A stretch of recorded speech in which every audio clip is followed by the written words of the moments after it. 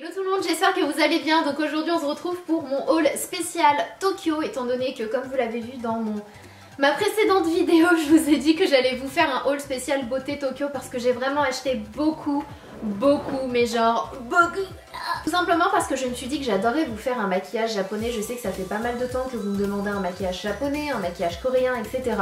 Et je me suis dit c'est le moment de me prendre des produits pour réaliser ce make-up là et en profiter d'en prendre beaucoup plus pour vous faire un haul et découvrir. Euh, je ne me souviens plus exactement où je suis allée quand j'ai acheté tout ça mais j'ai vraiment acheté tout ça dans différentes boutiques. Et il y a vachement, euh, il y a beaucoup de marques qui reviennent à chaque fois. Donc euh, voilà, euh, je vais commencer avec ça. Ça, je vous l'ai présenté dans ma vidéo, les choses à rapporter de Tokyo. Ce sont des masques chauffants. En fait, on m'avait donné un masque chauffant dans l'avion et j'ai trouvé ça tellement agréable. Je me suis dit, oh my gosh, il faut vraiment que je les trouve arrivés au Japon. En fait, ce sont des masques qui chauffent jusqu'à 40 degrés une fois que vous les déballez. Ce sont des petits sachets comme ça. Une fois que vous les ouvrez du sachet, ça commence à chauffer et ça fait tellement du bien aux yeux. Ça relaxe en fait et c'est génial. Voilà déjà pour euh, le premier achat. Je me suis acheté ça aussi. On est parti dans un grand grand grand magasin et il y avait une marque, je, je, toutes les marques dont je vais vous parler aujourd'hui, j'en avais jamais entendu parler de ma vie. Et en fait il y a une marque qui s'appelait Sixteen je crois. Sixteen Brand. J'ai trouvé vraiment trop mignonne, on dirait une sucette. Et en fait c'est pour râper le pied tout simplement. Là-bas tout est mignon, clairement si jamais vous y allez un jour, N'hésitez pas à économiser bien avant parce que niveau budget, moi je trouve que c'est pas donné là-bas. Euh, contrairement à ce que j'aurais pu penser, euh, à ce que je pensais en fait, c'est vraiment pas donné du tout. Donc euh, vous attendez pas à ce que ce soit moins cher, etc. Peut-être au niveau de la nourriture, éventuellement, mais au niveau des produits, des magasins, même des marchés, en fait, c'est pas moins cher qu'en France, en fait, et c'est parfois même plus cher, je trouve.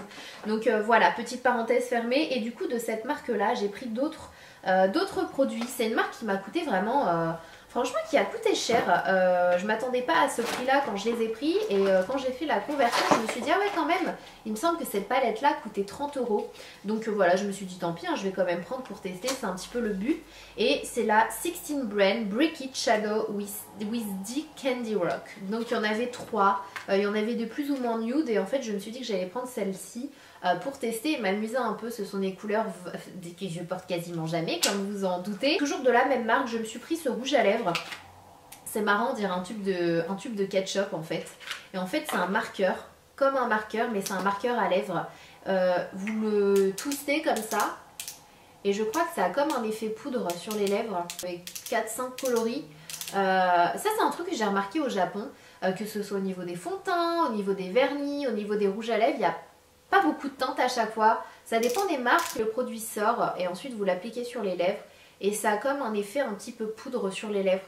Et ça c'est le genre de, rouge à lèvres qu'elle portait toute en fait. Elle, euh, c'est toutes. C'est soit ça, soit des lacs. Vous retrouvez beaucoup de ces produits-là, soit des lacs à lèvres. Mais euh, très très peu de mat, euh, etc. Ce que nous on, on aime en France et c'est pour ça que c'était vachement intéressant d'y aller, de voir en fait les, stands, c'est totalement différent. Je me suis pris des rouges à lèvres normaux, donc ceux-là ce sont des mats. Euh, j'ai pris la couleur orange, orange je crois, ouais orange.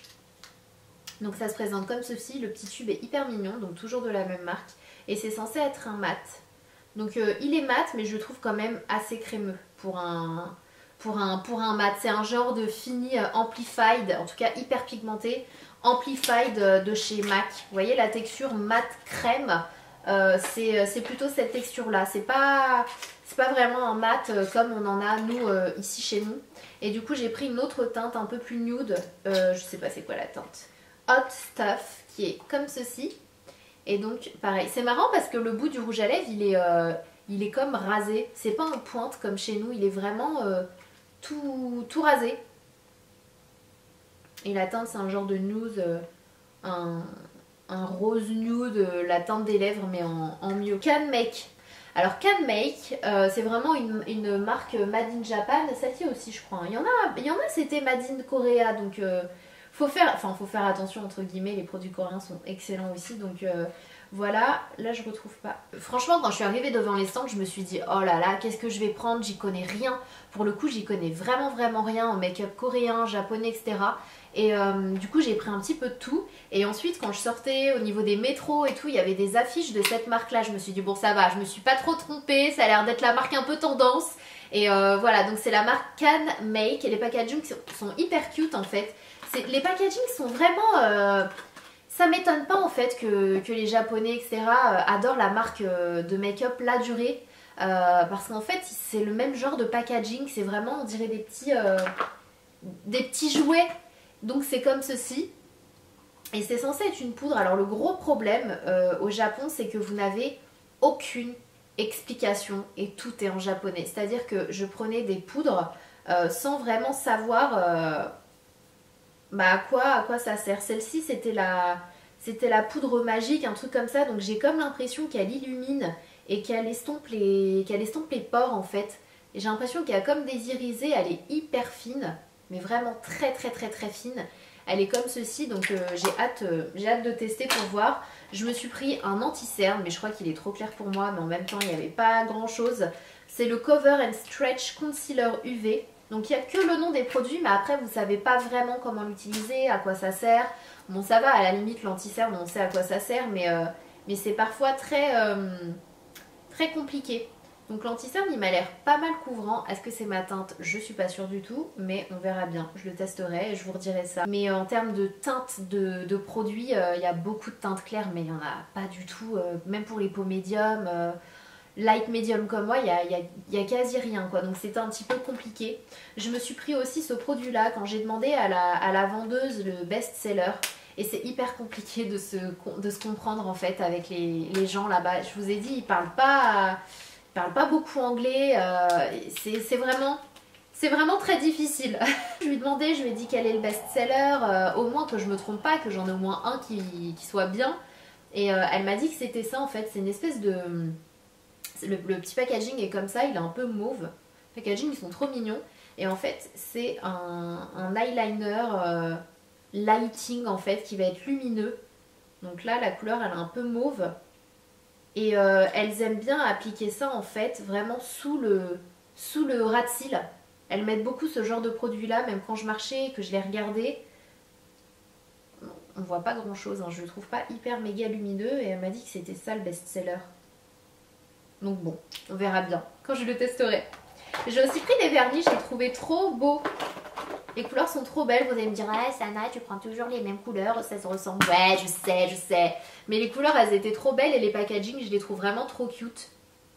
Donc voilà ce sont des nudes un petit peu rosés. En termes de pinceaux euh, je pense pas que je vais euh, vraiment aimer parce qu'ils sont quand même très fins et vous savez vous connaissez mon amour pour les pinceaux épais. Euh, là c'est pas du tout le cas donc bon après avoir en termes de tenue etc. Mais, mais voilà en tout cas le Can Make alors j'en ai pris trois de CanMake et il y en a un, le pinceau il est un petit peu plus large que les autres donc euh, on verra bien. Toujours de chez CanMake, les packaging ils sont, euh, ils sont tous en plastique en fait. C'est marrant, mais vraiment tous tous. Je me suis pris un eyeliner, Quick Easy Eyeliner, la pente elle est hyper fine, j'ai pris le black. Donc on verra bien, là sur ma main il a l'air vraiment vraiment black. Elle porte quasiment toute du liner, mais vraiment tout est hyper fin. Et surtout au niveau du, coin externe en fait, et euh, je me suis dit que j'allais quand même prendre un eyeliner pour tester, surtout si je fais, je fais des tutos, au moins j'aurai vraiment tout pour pouvoir euh, reproduire des, euh, des make-up. Je me suis pris aussi ce rouge à lèvres, alors ça c'était la nouveauté parce que je l'ai vu sur l'affiche ça. C'est les Lip Tint Matte, donc je me suis pris une jolie teinte que je trouvais vraiment belle. Déjà les packaging, regardez, ils sont pas trop mignons. En fait c'est kitsch et à la fois mignon, je sais pas si vous voyez ce que je veux dire. Et j'ai pris la teinte numéro 3 qui m'a l'air d'être un joli rosé. Mais euh, mat, euh, je suis pas sûre du tout quoi. Ça m'a l'air bien liquide pour du mat. La couleur elle est juste là. Je suis pas sûre de mon coup. Je me suis pris un bronzer. Pareil, on verra bien ce que ça va donner sur ma peau. La teinte m'a l'air plutôt pas mal. Donc après, à voir. Mais euh, pareil, hein, je suis pas sûre à 100% de mon coup. Mais bon, au pire, c'est pas la fin du monde. C'est la Shading Powder qui se présente comme ceci, donc on verra bien ce que ça donne. How to make. Ah, c'est bien là, il y a un how to make en anglais. Et ensuite, euh, how to make c'est écrit en japonais, donc tu sais pas en fait comment how to make. Toujours de la même marque, je me suis pris un eyebrow tint jelly. Je vous avouerai que ça, je suis un peu en flip de l'utiliser, mais on verra bien. Pareil, ils ont écrit how to use Et la suite, elle est en japonais. Ils. C'est trop marrant. Pourquoi tu commences en anglais et après tu continues en japonais? Genre tu fais... Le packaging, il est comme ça. Et en fait, c'est un produit qui va venir teinter les sourcils. Et apparemment, ça dure hyper longtemps. Et ça tente pas grand chose sur ma main. Ah ouais, c'est hyper léger. Je sais pas si vous le voyez juste là. C'est marrant. Hein. je pense que justement ça peut donner un effet hyper naturel. Je verrai bien, je vais tester pareil. C'est vraiment marrant les textures là-bas, c'est très liquide, très haut en fait. Euh, voilà pour cette marque là, c'est tout ce que j'ai pris. Bon, ça fait déjà pas mal de choses. Alors chez Etude House, je me suis pris des produits. Donc Etude House, il me semble que c'est pas une marque japonaise, mais c'est une marque coréenne. Et c'est une marque que je connais depuis des années. J'avais déjà commandé pas mal de trucs il y a 5-6 ans que j'avais beaucoup aimé. Et euh, ça, faisait pas mal le buzz en fait avant sur, euh, sur YouTube. Et c'est vrai que j'en entends plus du tout parler. Et en fait, c'est une marque hyper cute avec de super produits. Mais j'ai pas vraiment acheté de make-up chez Etude j'ai acheté cette, euh, cette Blur Face, donc qui est une base avec un SPF qui est censé lisser, euh, cacher, les, cacher les pores et illuminer le, teint. Ils font beaucoup de bases, hein. franchement les japonais, les coréens, ils sont, euh, ils sont vachement dans le, dans le teint lisse, le teint lumineux, le teint zéro défaut, zéro... C'est un truc de ouf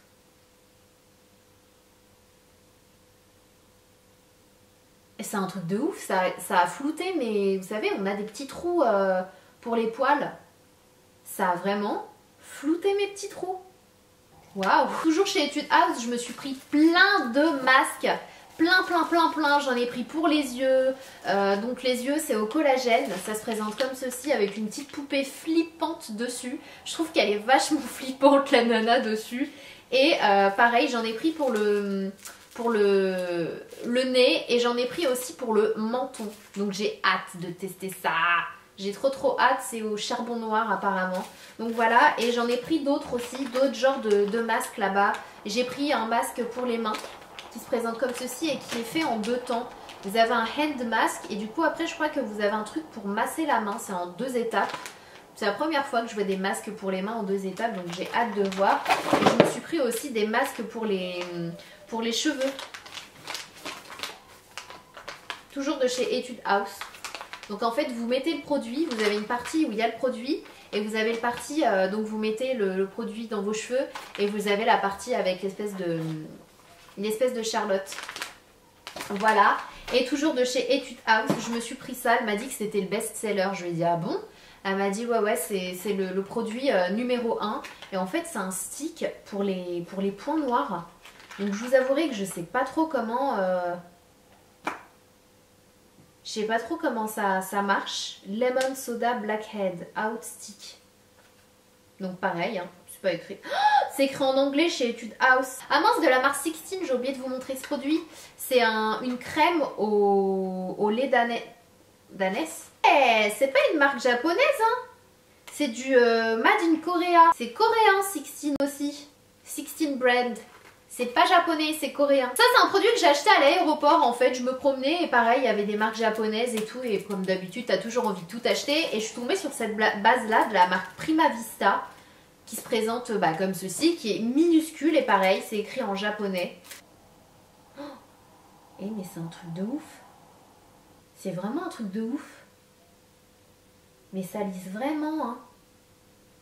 Et ils sont super forts en base... Euh, pour camoufler les pores, lisser les ridules et tout.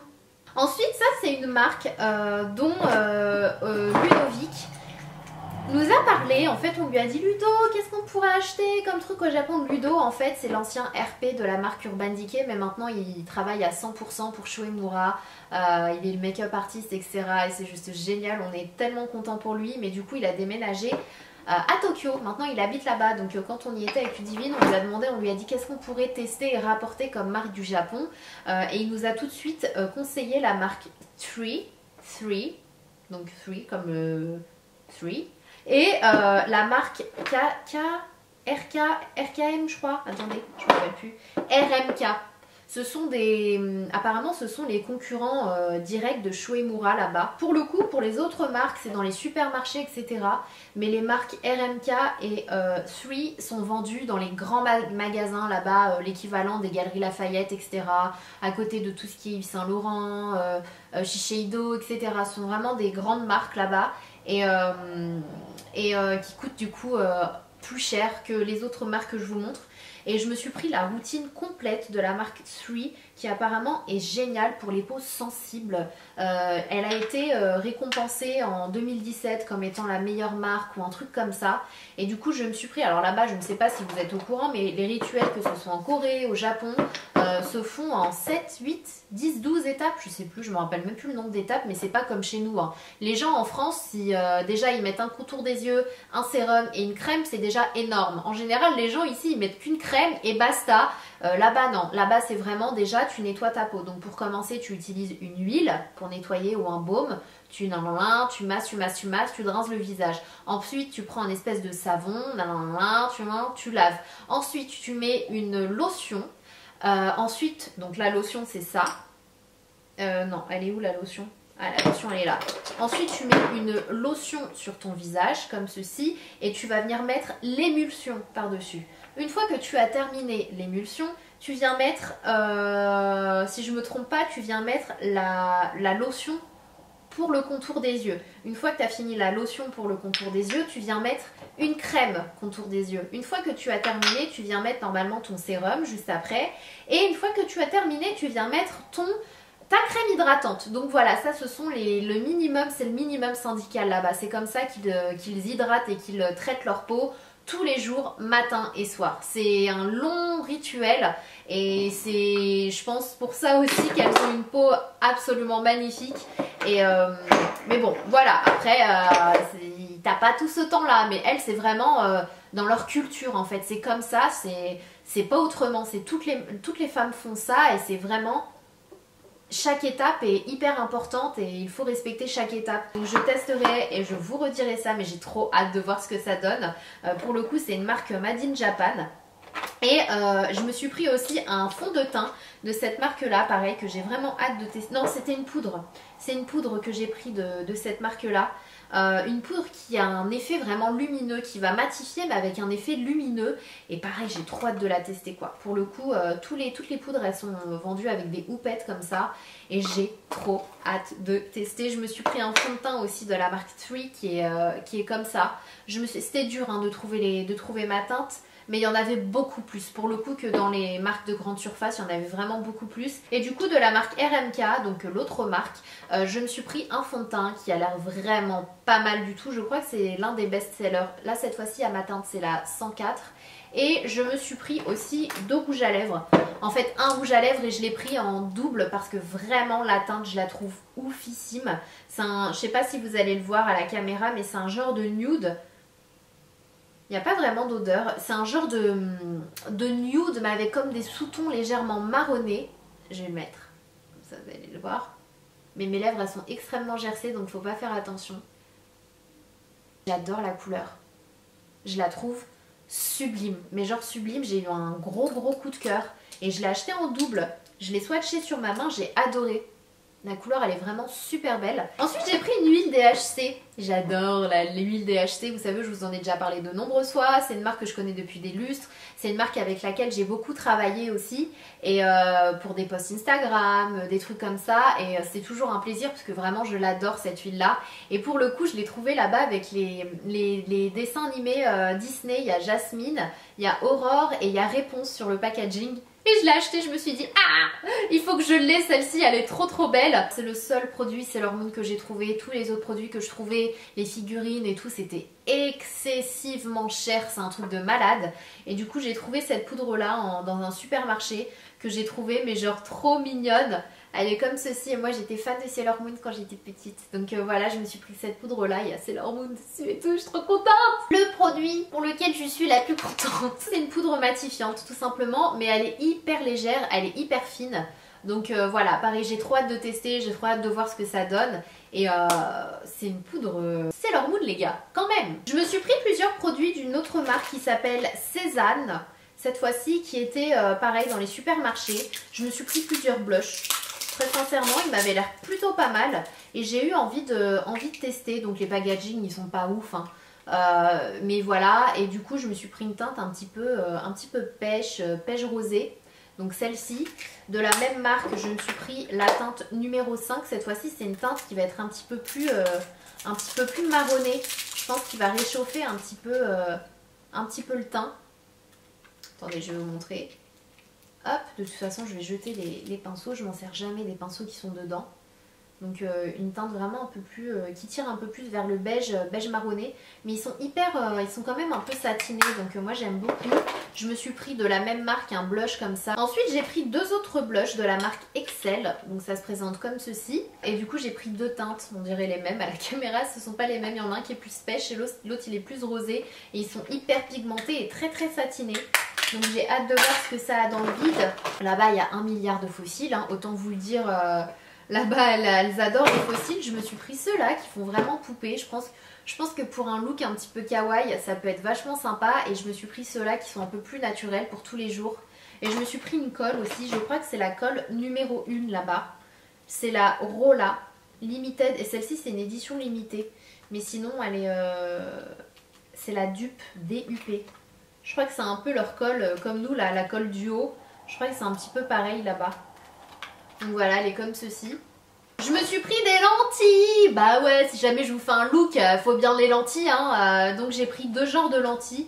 Je connais pas trop, je vous avouerai que je suis un peu en flip, mais bon, voilà, je vous ferai un tuto avec si ça vous dit. Ce que je peux vous dire, c'est que les lentilles, c'est du Made in Taiwan. C'est pas du Made in Japan, les deux sont du Made in Taiwan. Donc voilà, j'ai pris ça, j'ai pris ça, je verrai bien ce que ça va donner. Je me suis pris du coup alors là, pour le coup, je n'importe quoi. J'ai eu envie de tout acheter, mais je me suis pris des boîtes à lentilles Toy Story avec Buzz l'éclair. Ne me demandez pas pourquoi. Je me suis pris cela aussi. Je me souviens pas du tout de ce dessin animé. Je sais plus comment il s'appelle. Si vous reconnaissez, n'hésitez pas à me dire ça en commentaire. Je me suis pris euh, les mignons quoi. Of course. Je me suis pris des masques pour les pieds chauffants. Donc c'est exactement le même principe que les masques pour les yeux de tout à l'heure. Ils vont chauffer jusqu'à 40 degrés, il me semble ceux-là aussi. Et euh, du coup vous les mettez vraiment sous la, vous savez, sous la, voûte du pied quand vous avez mal le soir. Vous mettez ça et vous vous mettez en mode comme sur le dessin. C'est vachement marrant parce que surtout leur packaging de, de, de, masques comme ça, ils, mettent les dessins et c'est... Euh, c'est vraiment marrant. Made in Japan. Donc j'en ai pris deux différents. Et je les ai pris en double.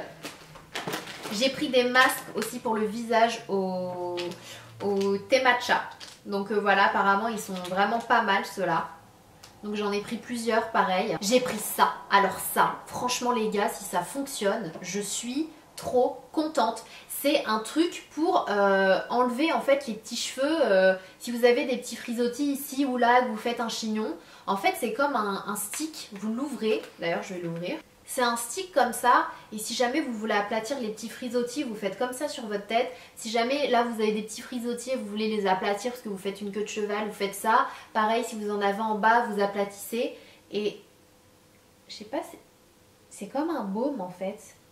C'est bizarre, j'ai du mal à croire que ça fonctionne vraiment, mais enfin, que ça fonctionne sur les cheveux d'une japonaise, je vais bien le croire, mais sur mes cheveux, je suis pas sûre. Je me suis pris un mascara de la marque Majolica Majorca.